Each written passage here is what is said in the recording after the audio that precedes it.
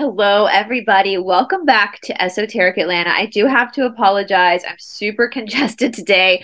Before I started filming, I had to go and get toilet paper because in Mr. B's America, tissue is now too expensive. so it's toilet paper for me and my nose, but at least we can laugh about that. Mm-hmm. Um, and so um, we are, I'm here with my beautiful friend and cohort, I guess, for this upcoming course we have starting in a few days on Sunday, where it's going to be a yoga intensive, but I have incorporated Reiki into it. And we're going to get into why I did that in a minute. But Emmy and I were just kind of chatting off camera about some like political stuff, some economic stuff that we're going to go into deeper into another video. And we were talking about how, especially in the United States, how a lot of people in the United States have a, almost like a savior complex. They're waiting for somebody else to do it for them. And that's probably the biggest lesson that we learn through any spiritual discipline is that no one can do it for you with anything in life. With anything in life, you have to do it for yourself. And therefore, and I'm sorry, guys, they're doing construction next door. So if you hear banging around, that's what it is. It's not a demon, it's an actual construction worker. But, um, you know, and that's that's really hard because we do come from a, the land of plenty here in the United States. We do come from a place where comfort is all around us, and we've almost become a people of hypochondriacs. We think every little ache and pain is something that's terrible and wrong and we freak out at our own body. We freak out and when things are uncomfortable. We try to avoid it. We try to shove it down. And i will say i mean we have over 200 people in the signal group right now and every single one of those people in that group they get it don't they emmy they're facing their demons aren't they I'm actually really I, I don't I don't engage very often, but I do and I can't read them all, guys. I'm so sorry. I'm I'm super busy. Every time I go check the the chat, it says, you know, 114 unread messages, 200 unread messages, 88 unread messages. I'm like, I, I just can't. But what I'm noticing is that, you know, usually when people start off on something as a group, there's a lot of people in the beginning everybody's you know excited everybody's engaging everybody's communicating and then slowly people start to, to fall away or drop off but this group is still large and everybody is still participating and everybody is still supporting each other and encouraging each other and going through the hard stuff and feeling the aches and pains and continuing to work out the next day and it is just freaking awesome yeah. you guys are a huge group of warriors and this i'm so impressed and I am too. And I will say, we're filming this on the 15th, which is the middle point of we're at the middle point of the challenge. And um, I'm not sure this video will either go up the evening of the 15th or the morning of the 16th, depending on how long it takes the processor to process this video. So I'm just telling you guys the date in which we're filming. And, you know, today is Tuesday. And so it's Hanuman's day in Hindu tradition. I actually had that on the challenge for people to look at the story of Hanuman again. I've said it multiple times from the Ramayana where Ram and Sita are married and this this 10-headed demon from Sri Lanka named Ravana comes and kidnaps Sita and takes her to Sri Lanka and it's Hanuman the warrior monkey god who has to go and find Sita to bring Sita back to, to Ram. Well he finds her but he can't just kidnap her and bring her back to Ram because the cycle will continue. He knows that he has to go up against Ravana. And again, Ravana is the 10 headed demon who can't be slain. You cut one head off, a new one emerges. And so he's in quite a conundrum. He has to figure out how is he going to de- defeat this this this demon. And he does. I won't tell you how. You can read the Ramayana if you if you want to see how. And he can now bring Sita safely back to Ram. Well, the whole story is just a freaking metaphor, guys. It's a metaphor. Ram is God, Sita is your soul, Ravana is your ego, and Hanuman is your courage. It takes courage to be able to go up the, the 10 headed demon who can't be slain, your ego, your false sense of self. And what is courage? Courage is being deathly afraid and doing it anyway, doing it while you're afraid, continuing to move through the crap while you're scared as shit and shaking and you're about ready to vomit and yep. you do it anyway. You yep. do it anyway. And I promise you guys, oh my gosh, if you can do this with any big or small, with anything, if you can do this, you will come out the other side so incredibly empowered. It is life changing. Yes. It's life changing. Yeah. Start to see everything because the, the, the point of the ego, guys, the point of the false sense of self is to provide you with that friction. Right. So if we had no Ravana to steal the soul away from from God, then we would never need a Hanuman. And through mm-hmm. that friction and that courage, the soul can know itself. And so even even though I was laughing with Stephanie, our friend Stephanie, I was like, you know, the underworld, we go into the underworld multiple times and we resurrect again. That's all the resurrection stories. That's all they are, guys, is metaphors of having go into hell and then come back up again but it's not just going to be one time. You're going to be going down multiple times through every every little thing you have to bust through. And i was laughing with stephanie. I was like you just got to go ahead and buy some lakeside property and get real comfortable there because it's going to keep coming up. But the more it comes up the more you realize that your false sense of self is false. Everybody else's false sense of self is false. And the world itself is just a hologram for us to know ourselves. And so things mm-hmm. that fear that you once felt starts to diminish more and more and more and more because you realize, as Stephanie says, you can't kill a soul. You realize that your soul set this all in motion for your highest good. And that's powerful. Uh, mm-hmm. Tomorrow, we have you guys looking back at the Kuan Yin um, activation from the Sophia Code because you're going to be getting into, getting into childhood trauma and looking at from an outsider looking looking as the watcher what kind of childhood traumas you went through that maybe shaped you as an adult. And part of your exercise tomorrow is you have to last a few days ago, you wrote a letter to someone in your life that you admired. Well, tomorrow you're going to have to write a letter to your childhood self. You're going to have to tell that little boy or that little girl how much you loved them, how much they're needed in the world. Uh, let them know that what happens to them is not their fault they're innocent and that they are still that little boy and that little girl is always going to is always a part of that fractal of God.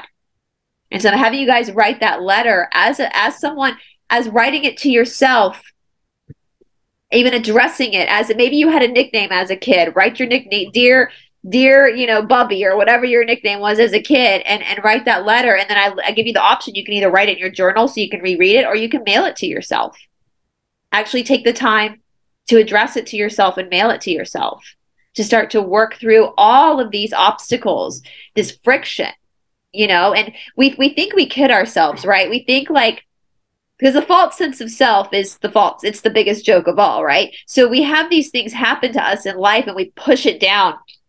And we think we can just ignore it and no one's ever going to know well, people might not know what actually happened to you, but you can't ignore it because that energy is still there and it's going to come out in other ways.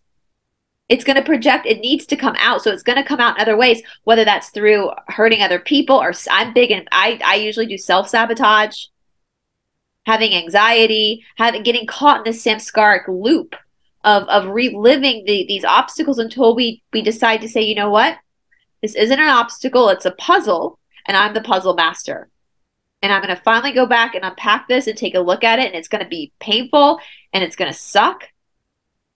But the more I settle into it, the more I lean into it, the less power. Have you noticed that too in your life, Emmy? And for people watching, like when something really bad happens to you and you try not to talk about it, but then you start talking about it, like whether it's in therapy or you open up to a friend, and the more you talk about it, all of a sudden the less power it has over you. Have you guys noticed that?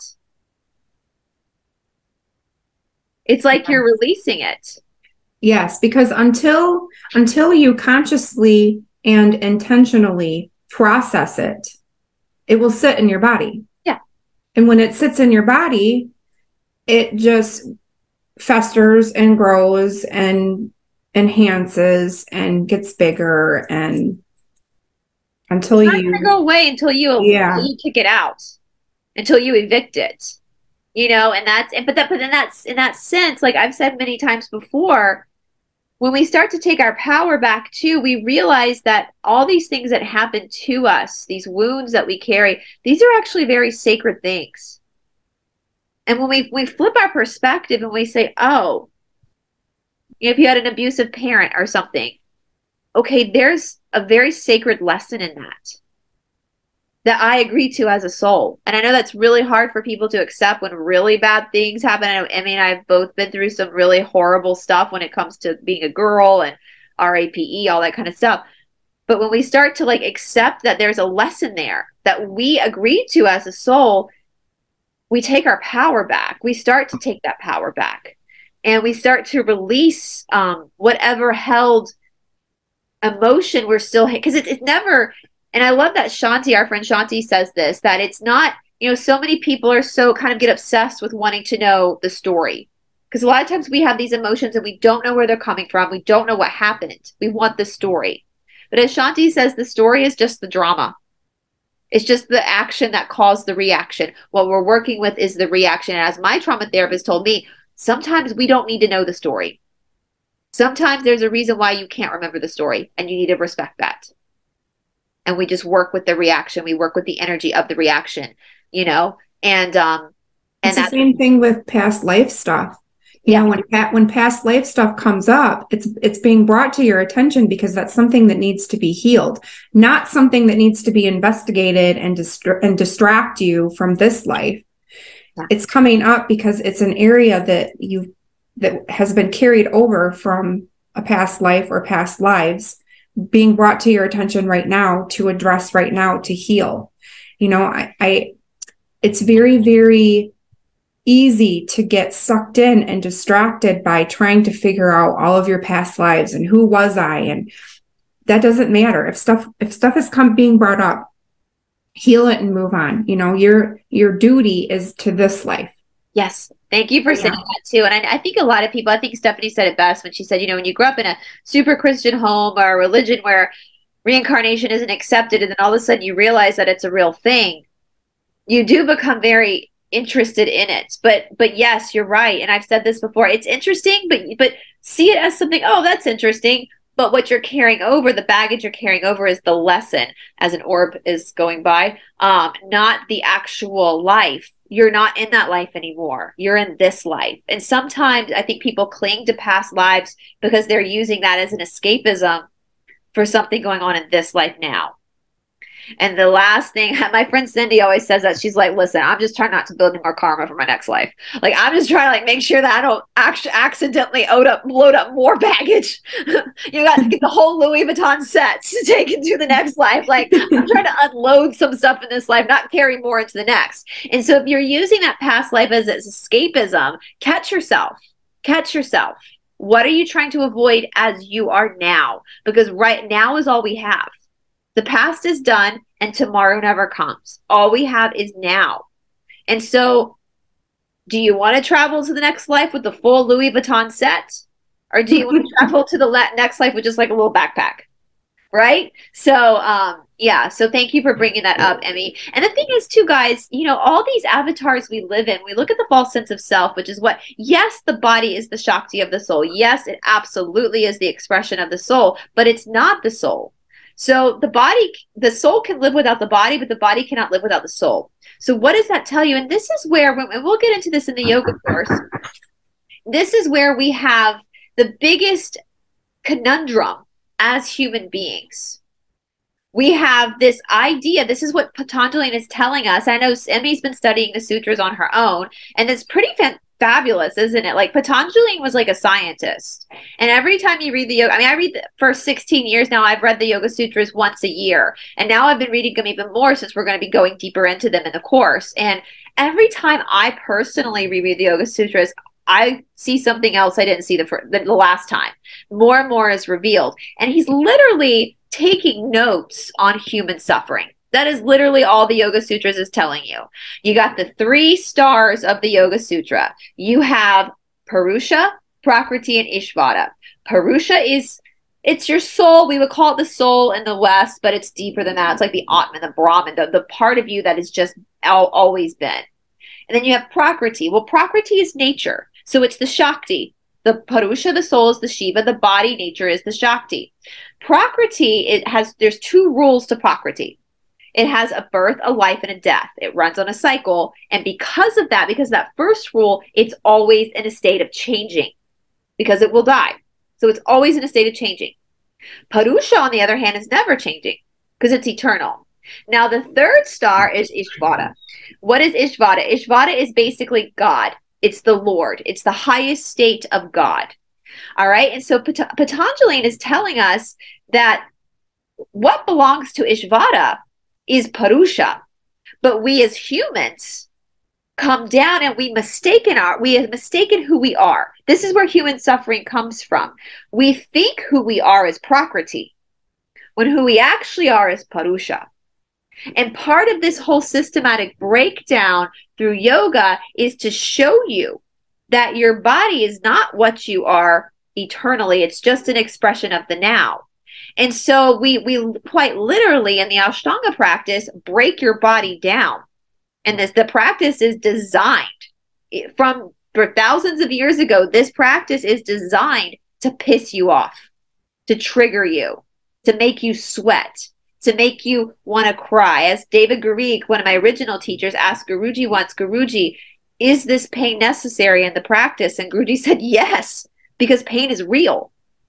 You can kid yourself all you want with your ego, your false sense of self through the mind, the mind stuff, the chittam, as Patanjali says. But when that pain comes up, you can't kid yourself anymore. There's a vulnerability, there's an honesty there.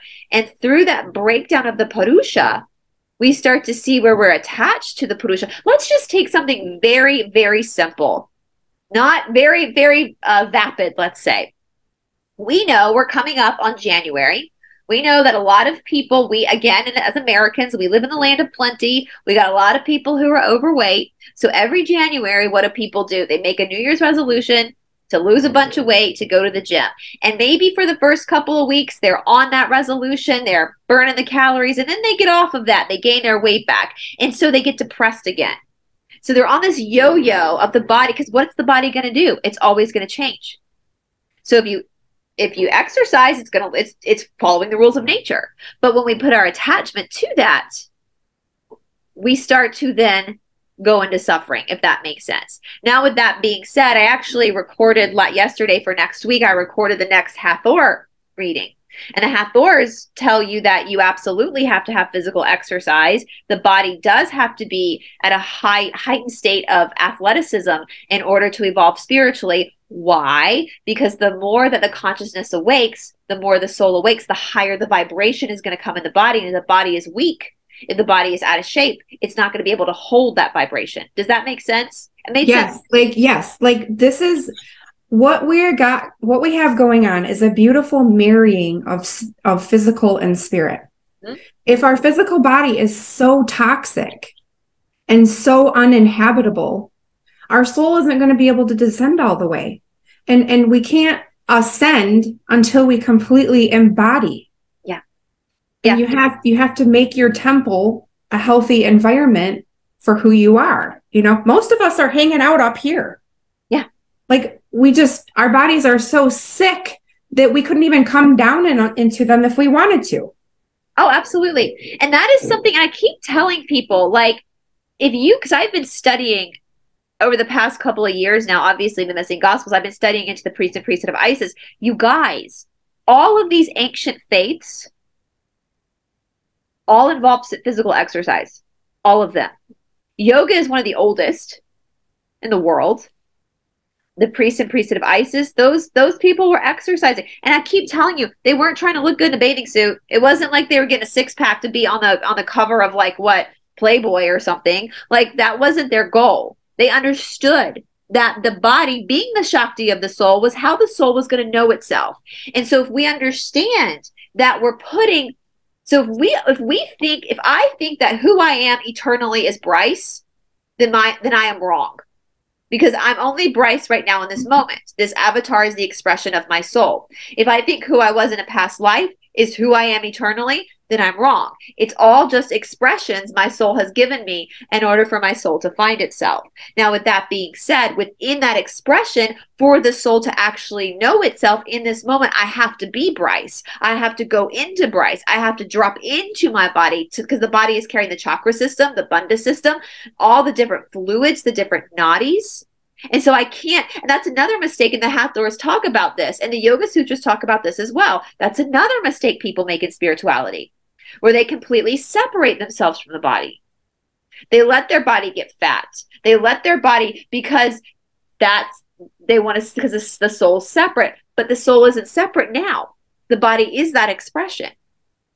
I hope that's making sense. It's such a and, and, and it's so it's so funny because Guruji used to say 99% practice, 1% theory. Let me tell you guys a little funny story. Before the Americans started coming over to India to study with Guruji, before the white people came, he would say, apparently the story goes, he would say 70% practice, 30% theory. But then these hippy dippy boys from America came over in the 60s and 70s. All they wanted to do was smoke pot, drink coffee, and talk philosophy with Pattabhi Jois. And Pattabhi Jois was like, absolutely incorrect. You need to practice this because what happens, and Emmy's been experiencing this through the Ashtanga practice, is the theory. In theory, it's very simple in theory. In theory, in that abstract thought of what we're saying, it makes sense. But once you step on that yoga mat and you got to live through it, that's when it gets hard. That's when you start to see it playing out in your own life and you're like, oh, fuck. This is hard.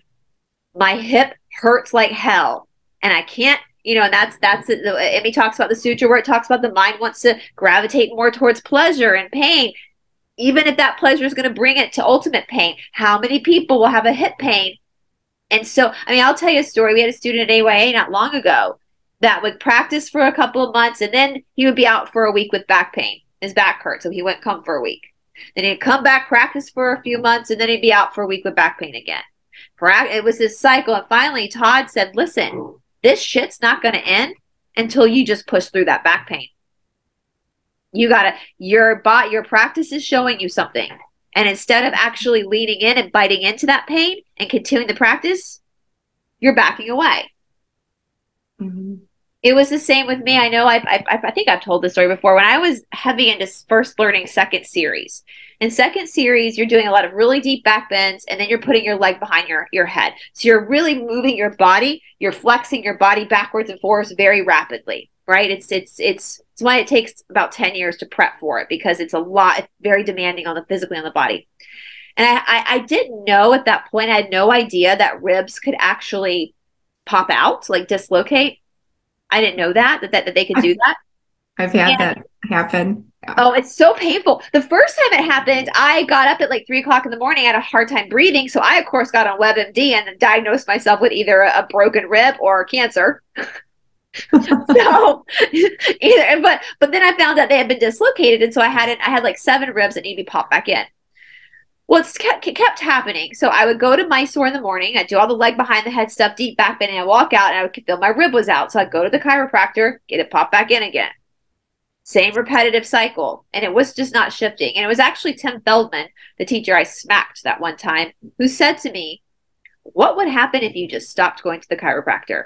What would happen if you just let your ribs be out for a moment? He's like, What's happening is your body is trying to recalibrate itself.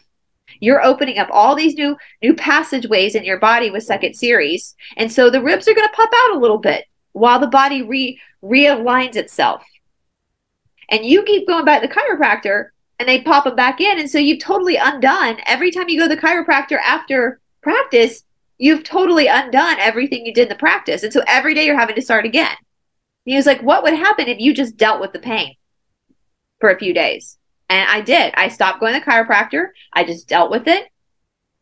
I got through that phase. I had a breakthrough and I haven't popped my ribs out since.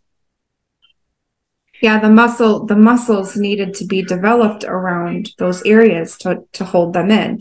And and I'm a big fan of chiropractic, but oh, I'm, a fan, I'm a fan of chiropractic along with muscle work. Yes. Because if you're just going to continue to get adjusted without doing the muscle work and strengthening the muscles to hold you in place, you're just going to keep having to get adjusted it's gonna be a, a constant cycle. Yeah. And how many people in your life, like I know Emmy, we all So everybody always has something that they're struggling with continually. So if like you have knee issues, you're probably going to have knee issues for the rest of your life because that is something that you're learning in this life. What do knees represent? Knees usually represent fear of the future. They're connected to your kidneys. In a lot of primary series, the binds are going around the kidneys. Um, Janu Sirsasana C, where you're twisting your ankle and folding in on it. That that uh that part of the foot that's being pushed on the floor is the, the pressure point to the kidneys. And so a lot of times people's knee knee issues will start to pop up again in primary series, and it's because you're literally exercising and detoxing an obstacle that's been there that started in thought. Everything started in thought. And so, with that being said, of course, we're not going to be stupid. I'm not going to take your leg and throw it behind your head without it being prepped for it. We're going to have to lean into it. I was telling Emmy, I know many people who wear knee braces while they practice in Ashtanga yoga, but they still come in every day. You know, sometimes knee issues are coming from the hip.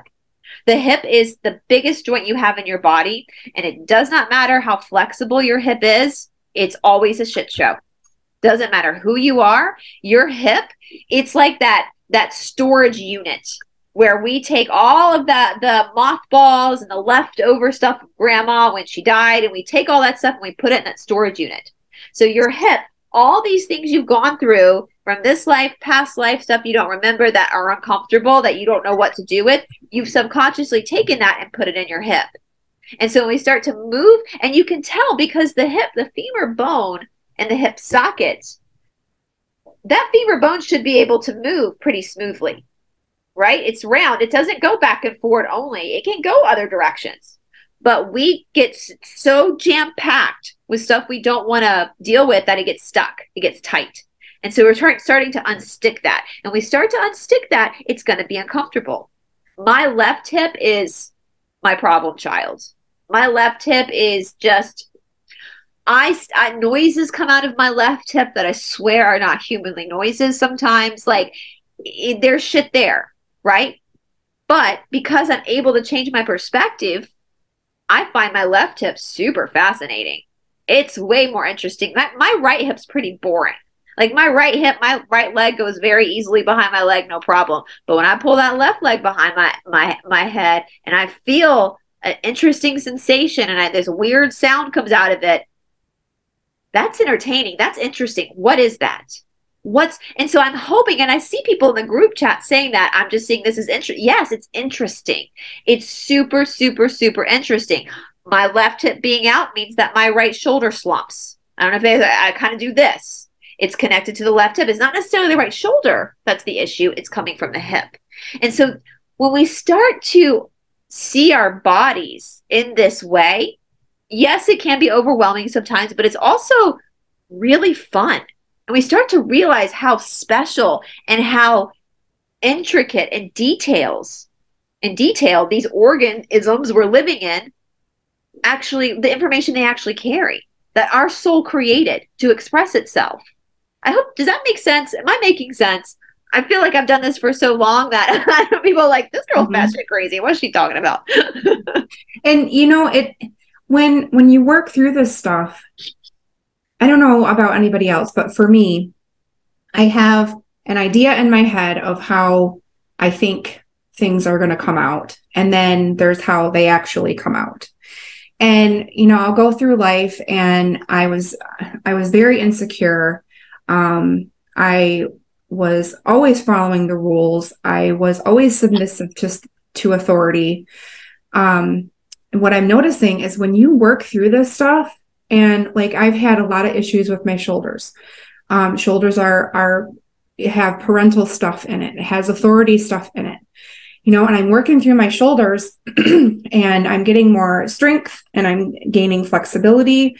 And as these issues are being worked out and I'm dealing with the pain, what I'm noticing is my fear of authority and my fear of like studying certain things like law is dissipating. And i'm diving into it. And it, you just don't notice because it the change is so subtle that you just don't realize and notice that that's what's happening. Over the last two months you know i've really been strengthening and flex uh, strengthening and increasing flexibility in my shoulders with with my practice. And correlating that with the things that have happened and unfolded over the last month have showed me that these issues that were in my shoulders, creating this fear of authority, are being worked out and that fear is dissipating and I'm taking action. And it is just like, yes, you so know. Let's, let's, say that you had spent your whole life, Emmy, just ho hum, I have shoulder issues. That's just how it is. And you never dug into your shoulder issues. Do you think you would be where you are now studying the law and studying? No. no. I wanted to point that out because everybody who's like, oh, I've got this, I've got that, I've got this problem or that problem. Well, if you live that way, you're closing so many doors to your whole human potential. And yes, it's going to hurt. I'm not saying that by diving into Emmy's shoulders. I'm sure she's she's going through a lot of pain opening up that stuck energy. It's stuck energy for a reason. I've gone through a lot of pain in my practice. I broke my effing sacrum in a practice. Like we go through these but but that's part of the process. We cannot be afraid of of feeling pain. We i know i know in our society there's always a pill for that right? So we don't have to feel things. How many pills are being uh, shuffled out to humanity so we just don't feel things? Mm-hmm. we're supposed to feel that's why we have an effing nervous system. That's right. why god gave us a nervous system. Pain is an excellent teacher pain is an excellent teacher it's necessary Suffering is what's not necessary. Suffering is created by an attachment to the pain via our ego. And then we attach to the pain and we judge it and we feel sorry for ourselves and we sit on a pity pot. And that's suffering. Suffering's unnecessary. Pain is necessary. You can't grow without it. Growing pains, you know, I mean, there it's even, you know, embedded in our our vocabulary yeah. And that's why I say, too, like, to me, watching a clean yoga practice is boring, right? Because when I see somebody who has a pretty clean primary series, it's not they have it's not that they've completed the work of primary series emotionally, but they've worked through a lot and so it's released itself and it's clean. When the second series gets sloppy though, after the that's when it's interesting again because we now we have new opportunity. Right? So I always tell my students in live classes, ugly yoga is my favorite yoga because ugly yoga is opportunity. Ugly yoga is the real story. Ugly yoga is the reality show. Ugly yoga is the treasure chest. It's like that 10 of pentacles in the tarot card deck where that heavy, heavy chest that's ugly, you open it and then there's all these jewels inside. Right? And we are so programmed to think that everything has to be perfect at all times. We didn't come here to be perfect. We came here to be messy. Because that's where we freaking learn is through the mess. And um, and so I want to talk about so when we're working through the body, this is why I'm going to tell you guys, I know I said in the beginning. So if I didn't say in the beginning, we have one seat left for the yoga intensive that's starting this Sunday. Um, a lot of the people doing the yoga intention, uh, intensive are also doing the 30 day challenge too. So I'm like, you guys are mega warriors because that's you're gonna have even more. I'm telling you, I just finished up your homework for the first week doing the syllabus for your homework. You're gonna have a lot more journaling to do. But um, but uh, when we're when we're talking about this energy, this energetic body, now I this is the first time I've ever taught a yoga course on a Zoom. Normally, in before the whole timeline change of whatever the hell it is we're going through right now, I would teach you one on one or I could touch your body, I could adjust you, I could work with you with your actual energy. But because I'm on a Zoom, I can't adjust you. I have to rely on just my my words um, and your work that you put in yourself to meet you halfway through the Zoom. And so, as I was contemplating creating this yoga intensive, it was like God was like, "Text Emmy, bring Reiki into it."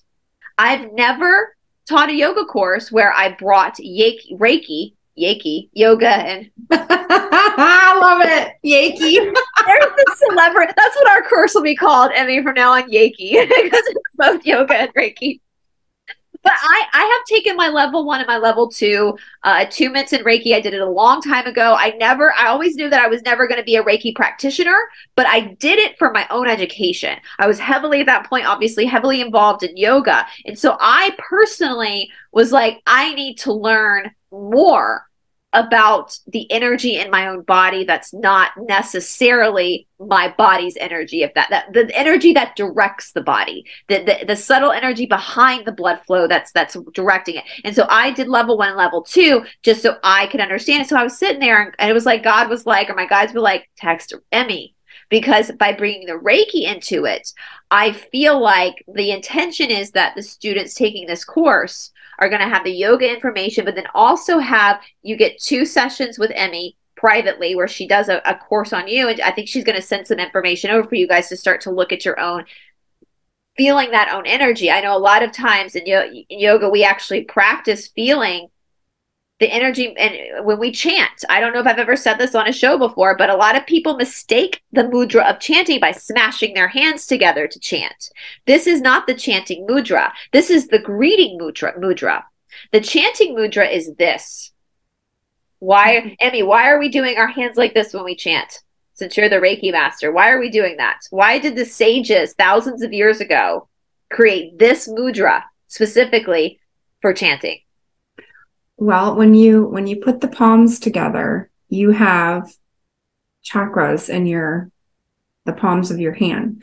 When you put your palms together and there's space there, you can ignite the energy and you can feel it. If everybody just takes just take a second right now, just take a second, close your eyes, put your hands together, make sure that there, there's a little space there, and just focus on the space between your palms and just think just think energy. And sometimes it can take a few seconds, sometimes maybe a little longer. Most of the time, it's immediate. You can feel this heat. That is your key. That's your energy. That's your life force. That is part of who you really are. You know, this body, like Brice was saying, is just an avatar. Who you really are is the energy that holds all this body together. Yeah. And that's what that's why and and I actually was so when we do we'll talk more about Vedic chanting in the course because we know Sanskrit is a light language. So there's healing tones in the Sanskrit. And so we do an opening chant in Ashtanga yoga. So your your head's bowed, you've got your hands cupped like this. You're chanting basically into your hands, activating that energy flow before you then start your practice. How powerful is that? How powerful is that? Mm-hmm. And so, depending on depending on like okay, I think everybody should get attuned to Reiki. Whether you're going to practice it on others or not, I think everybody should get attuned. Honestly. And there are different lineages. Yeah. There are are lots of different lineages. The lineages of classes that I have taken have um an evolved form of Reiki energy called holy fire. And I'll, I'll activate holy fire at the beginning of my practice when I do the yoga chant. And it is amazing the flow that comes. Like it is, I really had to let go of perfection and like what Brice says, a clean practice, because I just wanted to copy what other people are doing and I wanted it to look just the same, you know, because what it looks like is what it's about, right? No, not at all. so no. my my practice is is not clean at all, and um, I but I activate the energy and and it tells me things through intuition, through um, different pains and sensations and feelings in my body. You know, it's not all pain. It's not all pain. Pain is there, you know, some of the time, but there are sensations. And when when you can connect with your body, especially in this meditative flow state, like you get in with yoga, when you can connect with your body like that, it strengthens your intuition. It strengthens your discernment. It strengthens your ability to um to listen to subtleties because subtlety and and being able to tune into that subtlety is where you're going to be empowered. It's it's your that's your power. You know when you can hear that still small voice and listen to it and drown everything else out and be in this flow state and really connect with your body it just it, it's it's so beautiful and so amazing having a spiritual practice through the physical. Like this is the first time that i've um attempted spirituality through a physical practice. And there's many many different ways many different ways to walk down spiritual paths. And you know yoga is one of them. And I, I tell you what there you can there are there's so much to learn from each path. Um whatever you feel like you're being guided to whether it's yoga or reiki or another spiritual path follow that. Investigate. You know your higher self god source universe whatever you choose to call higher power is guiding you there for a reason. You're you're being guided if you're not going to listen to those subtleties then you're going to miss out on a lot of awesome stuff. You'll just have more luggage to carry to the next life yeah. It's so interesting you're saying that because book three of the yoga sutras is the portion on accomplishments. And i debated because traditionally when we teach yoga, we teach the sutras, we only, for the first like 10, 15 years, we only focus on the first and second sutra. And that is so that students, when they come into the third, the third suit, the third pada, the third book, um, they they are humble because it, it is the book on the siddhis, as we call them. Siddhis are like yoga powers. What do I mean by that? It means the the high the heightened intuition. Um, eventually, things like levitation. When you learn to have, when you learn to really live in that um, energetic power, your body's not as heavy anymore, and so you have these abilities. Um, there's it's documented in India. You know, when uh, people started to, or white people started to explore the Himalayas, they would run across yogis in like loincloths sleeping in snow and they were fine because they learned how to control their own sense. So their senses are controlling them, they were controlling their senses. And I actually decided, I decided that in this course we are going to go through the third and fourth uh, pada um, because we're going to be breaking some rules because this is a time of great friction in our lives. And if you are humble enough to take the teachings of the first and second pada, then hopefully your mind will be ready to take the teachings of the third and fourth pada because all of these siddhis these abilities are not going to come clearly to you unless you're able to descend into the messiness of the false sense of self first and once you i always say it i'll say it again this is said all across the ashtanga world the easiest students to teach are the beginner students and the advanced students because both the beginner student and the advanced student know that they know nothing. So I want you guys to think about that. The advanced student also knows that they know nothing. It's the intermediate student that thinks they know everything. That is hard to teach. Right? So think about that if you're a beginner and you're intimidated by the idea of being a beginner your your body might not be in the same place as the advanced student, but your mind is. And that advanced student doesn't care that you're because they've been through hell and back with their practice. Their Todd tells a lot of funny stories from India with Pattabhi Jois. And there was this one student he used to practice beside the Mysore room, and she was like in fifth series, which I'm telling you guys, I don't want to go past fourth series because it just I have a hard time watching people practice fourth series. You only really see in India. Because it's like the way the, the c- contortions they do with their body like they bend their body in places the body's not supposed to bend. So it's it's really hard. Like third series is beautiful. It's more advanced than most yogas are anyway so i'm cool with that. But this one student was like in fifth series and Don said that Guruji would come and put her in the posture and then he'd walk off to the next student and she'd be so stuck in the posture she'd be like to Todd she'd be like, "Can you push me over?" He'd have to get up and like push her over just so she could like get out of the posture. Oh my gosh! like, can you push me over to push me over? So, and so there was this, and this was right when Todd first came to India. So he was very much a beginner at that point. So this advanced student was like trying to get the beginner, hey, push me over so I can like so that's the that's the my thought process, right? Is the advanced student is the one that's ego's been shattered. So they know they know nothing. You know, and if and if anybody tells you they have all the answers, they don't. We're all I mean, even Patanjali doesn't doesn't claim to have all the answers we're just we're just studying ourselves. And yes and i said this too there are a lot of people in the yoga world that are strictly yoga asana as far as exercise like they and i was that way for a very long time. Of course in the ashtanga lineage when you're in the, the heat of that ashtanga practice all your body can handle is ashtanga asana because it's so damn exhausting. People lose a lot of weight. It's just a lot. There's a lot of calories being burned. And so in reality energy wise you really can't go off and do like a kickboxing class after it can you emmy after no, you can't. So um so I'll that's another funny story. I'll I'll tell you guys after this. So, but what I've done with the challenge specifically, because I I have dabbled in other modalities. I love barre a lot because of the activation of the bandhas is I've taken the philosophy because this philosophy can't you can any way you you use your body whether that's through yoga or running or tennis or dance or whatever it is you can take this philosophy and you can incorporate it into that movement. It's changing the perspective of the movement. So if you're like a dancer you're not looking for to perform.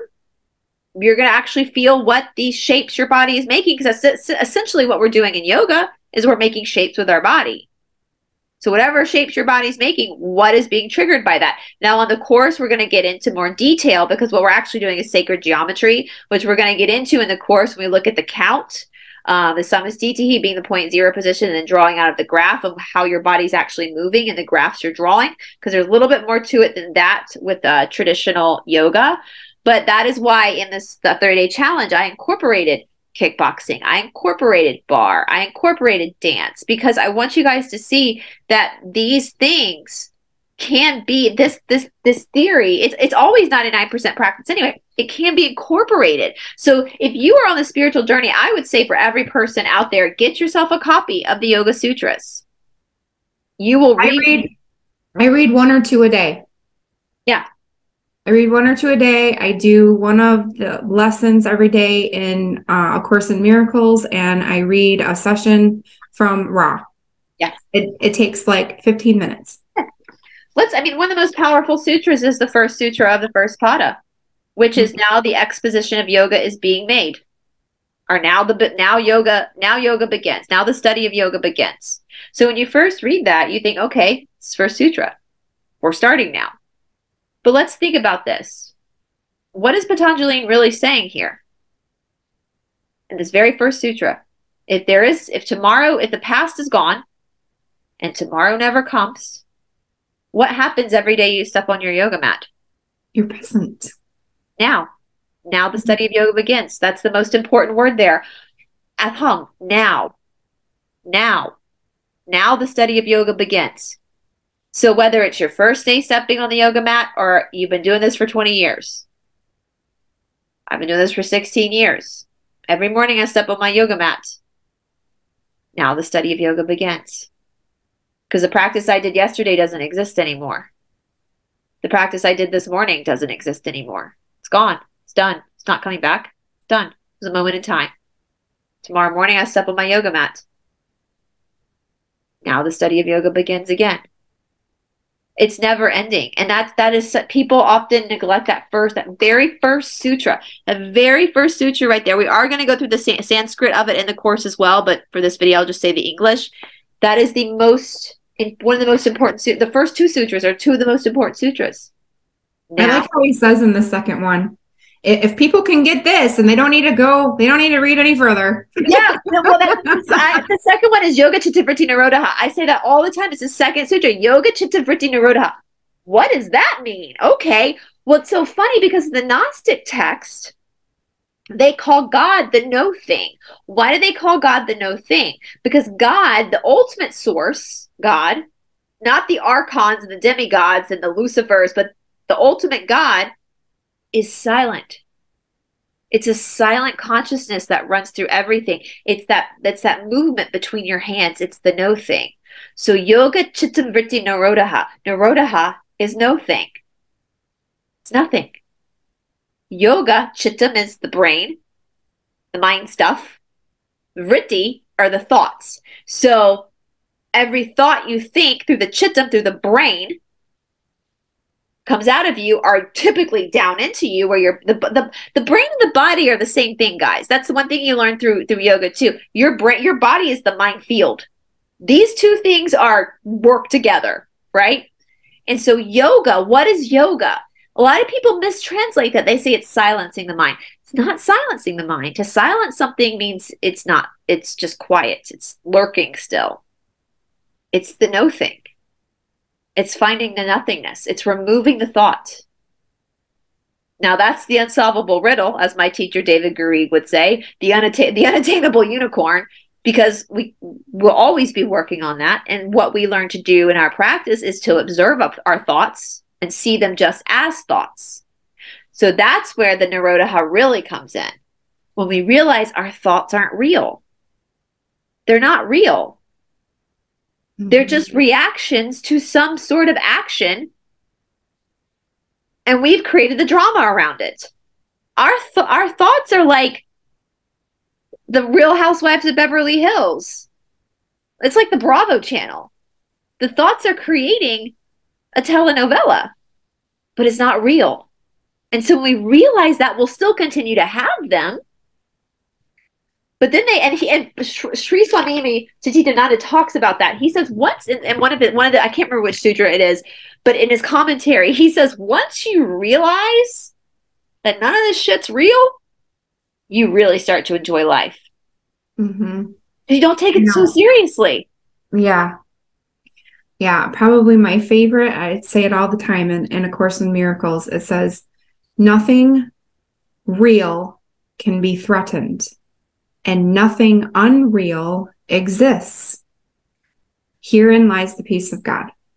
And how you can tell if something is real or not is if it stands alone and doesn't need anything else. Light stands alone. Darkness is the absence of light. So darkness depends on light, but light doesn't depend on darkness. So darkness is not real. Love is real, it stands alone. Evil is the absence of love. Evil depends on an absence of love to exist. Evil is not real. Yeah. Let's look at that with the body and the soul. Can the body stand alone without the soul? Nope. Can the soul stand alone without the body? Yes. So is the body real? It's just a really fun Christmas tree decoration.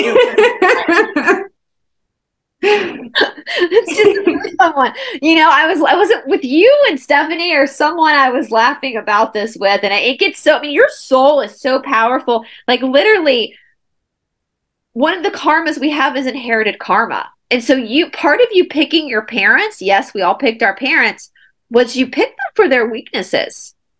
Because you wanted to learn from that experience that they've had that got passed to you. Right? So when the sperm, whatever energy was being held in that sperm and whatever energy was being held in that that egg met, that then became your karma and you picked that for a reason. That's your power. That's your power move. Plot twist you sat down as the all knowing being your soul is, and you said, All right, that person and that person, there's something they have that I want to learn from. And so I'm going to, I'm going to jump in through them and, and take some of that karma. That's how powerful you are. But I was laughing with someone. I was like, but you look at, so that means that you designed everything about yourself. You designed your eye color from their DNA, you know, everything your parents had, the plethora of ancestors, you picked everything for whatever reason you needed to learn for whatever reason my soul decided to have blue eyes in this life. Maybe i know with the rh negative blood the back of my eyes shaped differently. Maybe there was an experience my soul wanted to learn from that. So it picked two people both my parents have blue eyes. So it can have that right? So i was saying to someone i was like you look at some people in this world though and you go that's what you went with cat knows like out of all all of them so you know and that's what he's saying though when you start to realize that you can enjoy life you can laugh at life my teachers in india say the highest form of spirituality is a sense of humor mm. is being able to laugh at yourself being able to laugh at the ridiculousness of life and maybe that's a challenge. Maybe I should have added that to the challenge. Maybe in, in everything we've been going through these past couple of years, can we find the humor in it? Can we find the humor in where we've been and what we've been through? You know, and it's it's it's I know we can because I see the memes on Instagram. Mm-hmm. What was I saw big, a Big Bird meme, and Big Bird was walking down the street, and this little kid came up to the meme and was I think it was Tamara that sent it to me and was like, Big Bird, where are you off to today? And Big Bird said, I'm going to Arizona to teach them how to count. You know, like. so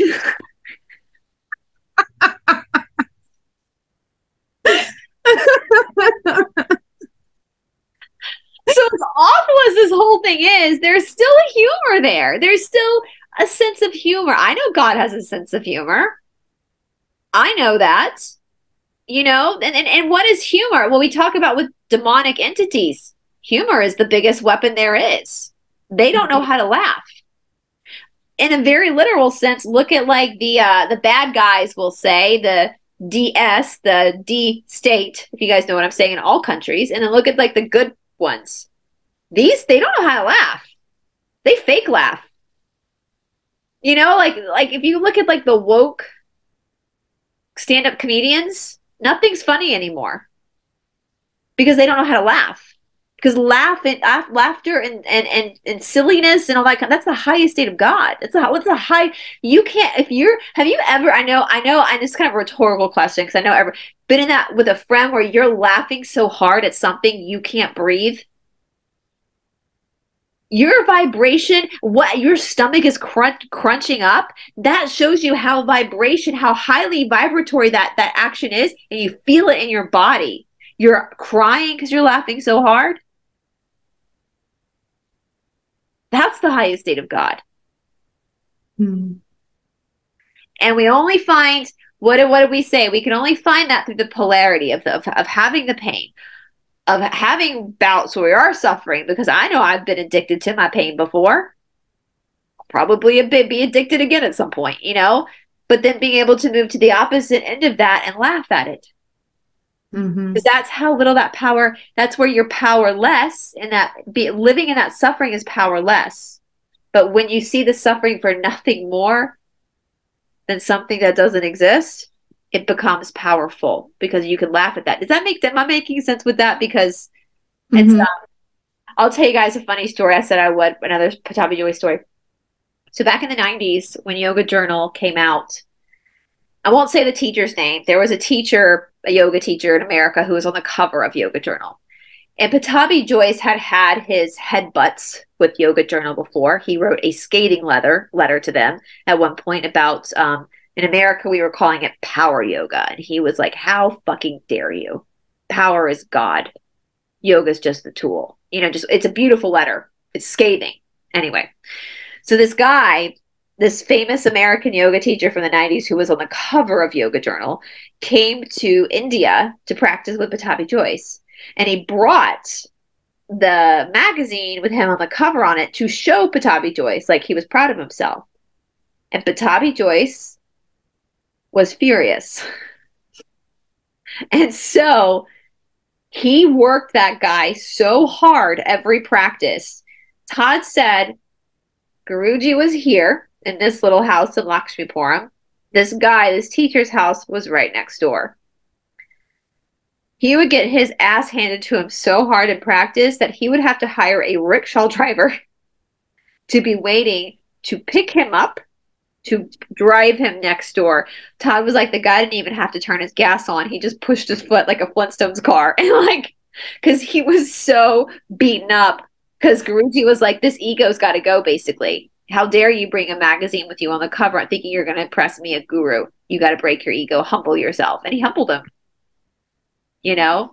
So I always I can just imagine because I I know I've had those days of like hobbling out of the shala like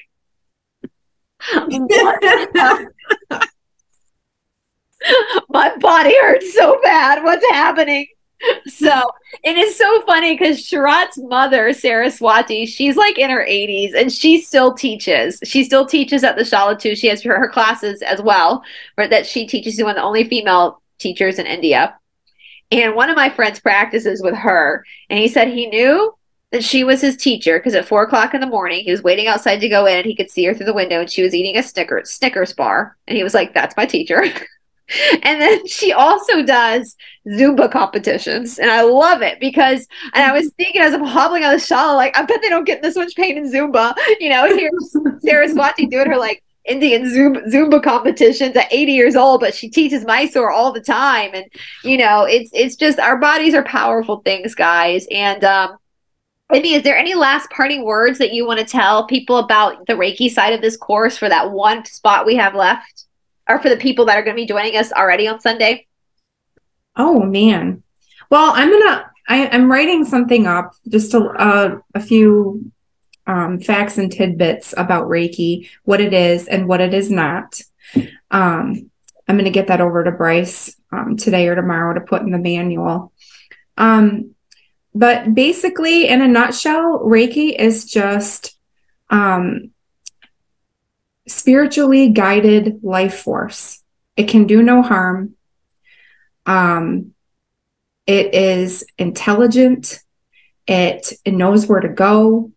Uh, the you know the the practitioner that you work with doesn't even need to know really what's wrong with you. The Reiki will address it. Um, it's helpful to know ahead of time what you would like to work on because different energies work with different things. Um, so your practitioner, you know, can hold space for you and um, send different energies that work with different things. But ultimately, um, Reiki is is God. It is consciousness. It knows everything about you. It knows things about you that you don't know. It knows where to go and what to do. And it's very relaxing and it works with the part of your nervous system that is responsible for rest, digest, and repair, the parasympathetic nervous system. When that part of your nervous system is activated, healing happens. Um, so yeah, that's about it in a nutshell. When you said that, I was going to ask you before we even started filming, and I mean, I'll just put you on the spot and ask you here on camera. I am thinking about doing a big episode on. We talked. You were talking about digestive and the parasympathetic nervous system. I'm thinking about doing an actual episode just on the gut. Would you? Yeah. Yeah, when I when I first created this YouTube my YouTube channel, one of the topics that I wanted to do a series on was gut health, and I've been so busy I haven't gotten to it yet. Let's I haven't do gotten it. to it yet because that was I, I I filmed myself the Mula Bandha, the Uddiyana Bandha. That's all gut health too and I feel myself doing that. I'm going to continue to work with you guys on that because that's also that that also covers the area of like the first three chakras, which are the most ignored. And so um, we want to look at the physical and the energetic combining themselves. And so, um, so yeah, and that's why part of the challenge, guys, I'm having you to stop eating after 7 p.m. I said this on one of the videos this week. So that if you stop eating at 7 p.m. and you don't snack at night, you're giving yourself at least 12 hours between meals and it's giving your digestive system a, a, a, chance to rest. And so, if you snack at night, what's happening is all the blood in your body is going to your digestive system to break that food down. But if you stop snacking and you give your, your digestive system a, a chance to rest, the blood's then going to be able to disperse around the body and heal other parts of the body as well. And so sometimes that's why we have like food hangovers. That's why if we snack at night, we don't wake up the best in the morning but if you stop snacking at a certain time, you're giving your body that regeneration. The nervous system can regenerate all this stuff. So, and it does come back to allowing because the gut is also kind of the second brain, um, all that kind of stuff, and and and working with Uddiyana and Mula which we will go deeper into in the course as well. Um, that's pulling that energy up in through the organs. So, um, also let's let's work on a video as well to do just in general about gut health and, and all that kind. And that's why drinking water is important too. It flushes the colon, it flushes all this stuff out. So anyway, guys. I will, I will say just one more thing. I will say the one activity that I did for my gut health that helped the most was I went I and I still do this. I go buy locally grown if I can find it. If not, Make sure it's organic. Locally grown, if possible, vegetables, any kind cabbage, carrots, broccoli, beets, anything, anything. Watch some YouTube videos on how to ferment vegetables. You can ferment them on your counter. it takes like three yeah. weeks. Yeah. Super easy. You don't need expensive equipment. You can buy expensive equipment, but you don't need it. You can just do it with um, guys you if you buy alfredo sauce or spaghetti sauce or salsa or whatever save the jars. Yeah. you don't even need to buy mason jars. And super easy to ferment vegetables and eat a couple tablespoons of those every day. I'm telling you what you are going to be absolutely amazed at the clarity of your thinking um, at the reduction of anxiety and depression. Like when you have a healthy gut bacteria your whole life will change. I yeah. promise you. It's amazing. amazing. Yeah. And we we actually ferment here too from time to time as well. We we've been doing that as well. We are lucky though because in a city we have DeKalb farmers market. We have a bunch. We have access, but in small towns you should also have access to like a farmer to locally grown stuff as well. It's so, not though. Your your local grocery store will have organic vegetables. Yeah, they yeah. should. So so we'll we'll let's let's plan on doing that a little bit later and me doing a big gut one because that is so important and I I I kind of why I snuck that into the challenge because I wanted people to start to kind of experience wake. You know, it seems seems crazy, but if you give your digestive system like 12 hours of rest, you usually wake up with more energy because the organs have prepared themselves because they weren't the blood wasn't all having to be used in your digestive tract. So um so yeah, so it's it's all this stuff is and you're right. I I've struggled because I'm Vata. I have struggled with constipation in the past. Um I thought it was normal that you didn't go to the, the I just thought everybody went to the bathroom like once a week and that was it. And it wasn't until I got what? really I, I thought that was so oh my gosh. in Los Angeles, my boyfriend at the time who I lived with was the first person that clued me in that wasn't normal because he came and I'm very private about this stuff, but he came out of the living room one day and he was like, I think I need to take you to the hospital. I was like, why? He was like, when was the last time you went to the bathroom? I was like, I don't want to talk about this with you. And he's like, no, this is concerning. He was like, I was like, listen, just because I'm not on the toilet for 45 minutes doesn't mean, but, but I was like, oh, you mean people do this every day? Like, I had no idea that people like did this every day. Um, so needless to say, the house I grew up in, we had separate bathrooms. So I had no idea that my other family members were going. I just didn't know. Um, but as a Vata, and I'm very thin, so I'm very thin person. So, you know, I can tell when I haven't been able to go to the bathroom. But I then I got for me I got on a bunch of different herbs and then I learned in yoga if you struggle with that if you're super constipated the teacher won't let you practice because you hmm. run the risk of bruising your internal organs. And so, and then when I when I got on these herbs and I started eating for my dosha, and I was like, oh, this makes a huge difference. oh my gosh and if you're Vata like me and you just assumed that something somebody did once a week, no, you're supposed to do it like once a day, a couple times a day, maybe even that. So, um, so, but we can talk about that on the episodes together. And we can talk about all the different remedies. I've done colonics myself. Those are fun. Um, we can talk about all the different things you can do, which is a Kriya and yoga. Colonic would be a Kriya and yoga, uh, which we'll get into in a, in a, in a later episode. So, all right, you guys. Uh, one spot left, you guys. So I'm going to put the link down in the description box below. We are meeting this Sunday for our first class at 2 p.m. Eastern Standard Time. So make sure you know when that is for your time. And we'll go from there because I am going to do smaller groups throughout the week to work on the asana stuff that we can. I will be providing you guys with some links to some other stuff you can work on on your own. You're going to have a lot of homework the first week, uh, dealing with the first pada of the sutras and I'm really excited. I'm really we got a great group of people, and so hopefully, uh, you know, man in the mirror, we got to change ourselves first before the world changes, right? So yes. All right, you guys. We'll talk to you soon. Bye, everybody. Bye.